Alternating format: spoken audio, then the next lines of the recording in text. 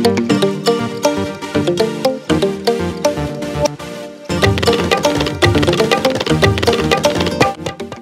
Friends मैं हूँ नीतू कुमार और आज मैं आपको लेकर चल रही हूँ ग्रीस के एक बहुत ही पॉपुलर टूरिस्ट डेस्टिनेशन मिट्योरा में। आप इस वीडियो को पूरा देखिएगा और मेरे चैनल को सब्सक्राइब करना मत भूलिएगा। मिट्योरा से काफ़ी नज़दीक पड़ता है कलाबाग का और वहीं पर हमने एक रिजॉर्ट में रात गुजारी। काफ़ी अच्छा रिजॉर्ट था और वहाँ से मुश्किल से 16 किलोमीटर की दूरी पर मिठ्योरा है।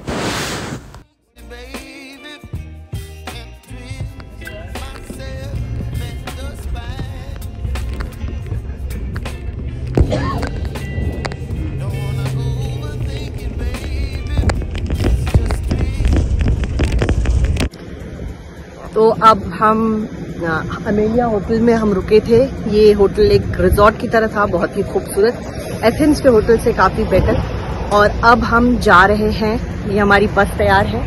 अब हम जा रहे हैं मिट्योरा जहाँ पर बहुत सारे रॉक फॉरेस्ट कह सकते हैं और वहाँ पे बहुत आ, मठ है।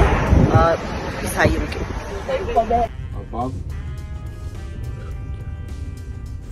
मेट्योरा की ये खड़ी चट्टाने पाँच हज़ार साल पुरानी हैं। नवी शताब्दी में यहाँ पहली बार भिक्षु आए थे और उन्होंने यहाँ ऊपर में ऐसे ईसाई मठ बनाए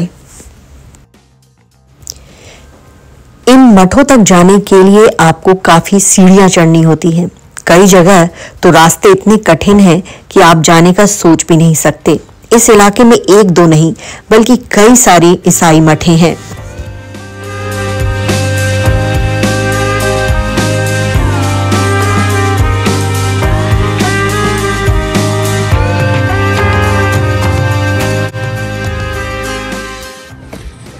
मेट्योरा एक ऐसी जगह है जो कि रॉक फॉरेस्ट और मोनेस्ट्रीज के लिए जाना जाता है। ये मोनेस्ट्रीज जो है, ईसाई धर्म के हैं और बहुत से पुराने जो ईसाई धर्म के गुरु हैं, वो सब यहाँ रहा करते थे। मेट्योरा के कई चर्च को हमने अंदर जाकर भी देखा और अंदर से भी इनकी बनावट बहुत भव्य थी। लकड़ी और पत्थरों को जोड़कर इन मठों को बनाया गया था।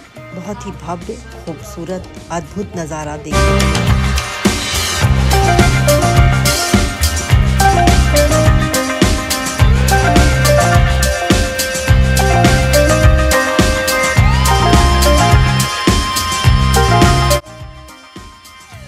फ़िलहाल ये है मेच्योरा। यहाँ पे ठंड काफ़ी ज़्यादा है तीन डिग्री टेम्परेचर है। आज हमने कम कपड़े पहने क्योंकि कल हमें गर्मी लग रही थी। लेकिन यहाँ पे वाकई ठंड ज़्यादा है।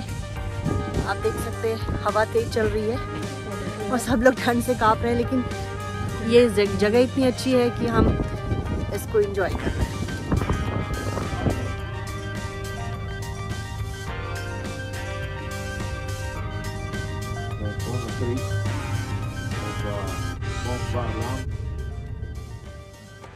जब भी आप ग्रीस आते हैं तो सेंटोरिनी और मैक और दूसरे आइलैंड्स पे ही मत जाइए। आप नेट्योरा भी आइए।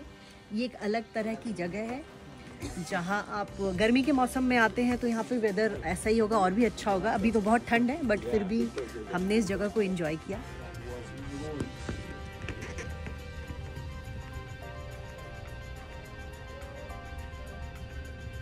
Of course, the bonus of all things also.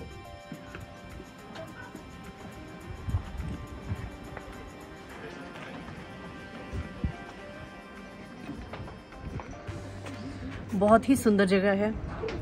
यहाँ आके लग रहा है कि आप एक दूसरी दुनिया में आ गए हैं। आपने पेंडोरा देखा होगा।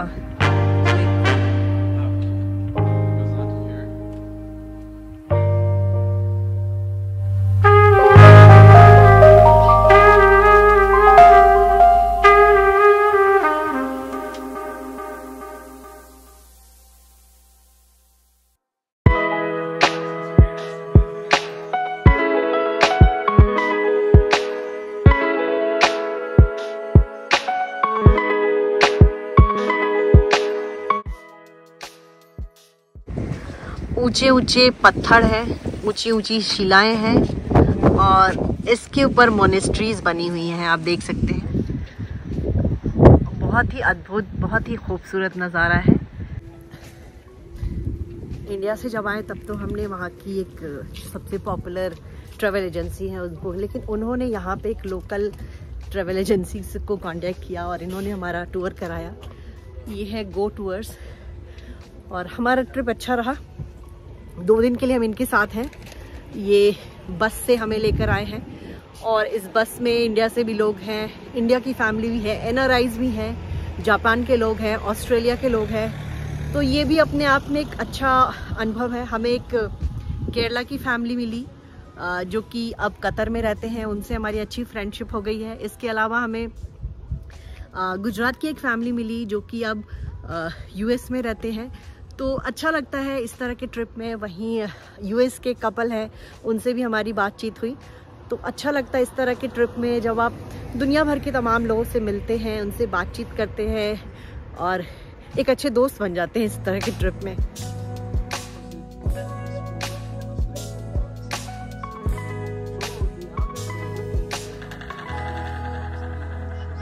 ग्रीस के टूरिस्ट डेस्टिनेशन ही नहीं वहाँ की कैट्स भी बहुत फ़ेमस हैं। वहाँ आप जहाँ भी जाइए आपको कैट्स नज़र आएँगी। मिट्योरा में भी हमें ढेर सारी कैट्स दिखी।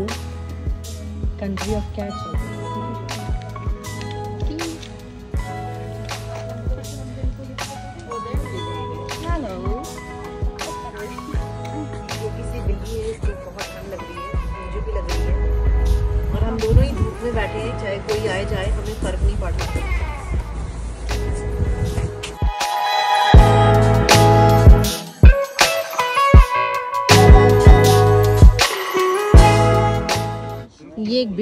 इसको इतनी ठंड लग रही है कि इसने बस ये धूप में बैठी। मेट्योरा और डेल्फी घूमने के बाद अब हम वापस एथेंस जा रहे हैं। कल हमारा एथेंस का ट्रिप होगा, एथेंस में भी जो भी मोनूमेंट्स हैं, जो भी म्यूज़ियम है, वो हम देखेंगे। इधर दो दिन हमने मेट्योरा और डेल्फी देखा, करीब ये जो है जगह एथेंस से चार पाँच घंटे की दूरी पे है। और हमारा वन नाइट स्टे था कलम्बाका में।